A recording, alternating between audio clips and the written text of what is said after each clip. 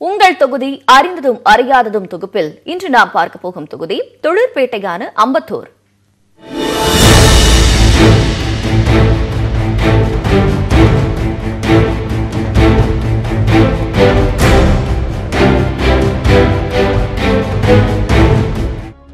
நூற்றி எட்டு சக்தி ஆலயங்களில் ஐம்பதாவது ஊர் என்பதால் ஐம்பத்தூர் என வழங்கி பின்னர் அம்பத்தூர் என மறுபியதாக செவிவழி வரலாறு உண்டு.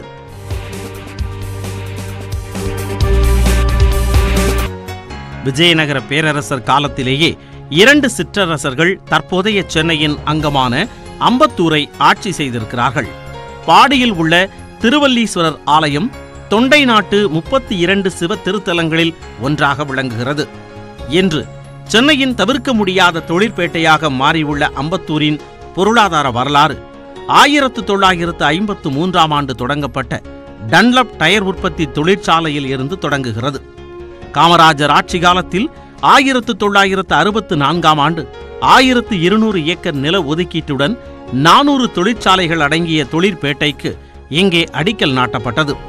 இன்று ஆயிரத்து நானூற்று முப்பது ஏக்கரில் ஆயிரத்து எழுநூறு சிறு குறு மற்றும் நடுத்தர நிறுவனங்களுடன் பிரம்மாண்டமாக விரிந்து நிற்கிறது. இங்கே பணிபுரியும் ஏழு லட்சம் பேரில் நாற்பது விழுக்காட்டினர் பெண்கள். டாடா டெல் டிசிஎல் ஹெச்சிஎல் உள்ளிட்ட தகவல் தொழில்நுட்ப நிறுவனங்களும் மாருதி சுசுகி டாடா பென்ஸ் உள்ளிட்ட வாகன விற்பனை நிறுவனங்களும் அம்பத்தூருக்கு பொருளாதார வளம் சேர்க்கின்றன. கிழக்கே கொரட்டூர் ஏரி மேற்கே திருமுல்லைவாயில் ஏரி வடக்கே புழல் ஏரி தெற்கே அம்பத்தூர் ஏரி என நான்கு புறமும் ஏரி சூழ் தொகுதி இது. இரண்டாயிரத்து பத்தாம் ஆண்டு வில்லிவாக்கம் தொகுதி பிரிக்கப்பட்ட போது அதில் இருந்து உருவானதே அம்பத்தூர் தொகுதி. அதற்கு பின் நடந்த இரு சட்டமன்ற தேர்தல்களிலும் இங்கே அதிமுகவே வெற்றி பெற்றிருக்கிறது. இரண்டாயிரத்து பதினாறாம் ஆண்டு அதிமுக சார்பில் போட்டியிட்ட அலெக்சாண்டர் தொன்னூற்று நான்காயிரத்து முன்னூற்று எழுபத்தி ஐந்து வாக்குகள் பெற்று வெற்றி பெற்றார்.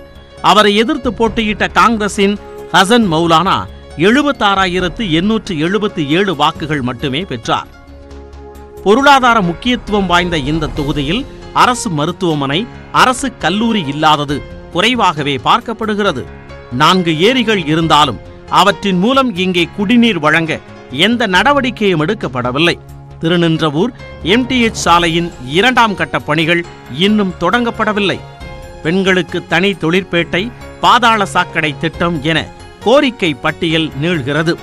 தமிழகத்தின் மிகப்பெரிய தொழிற்பேட்டையில் அதிமுக ஹாட்ரிக் வெற்றி பெறுமா என அறிய தேர்தல் வரை காத்திருப்போம். நியூஸ் எயிட்டின் தமிழ்நாடு தொலைக்காட்சி செய்திகளுக்காக கண்ணியப்பன்.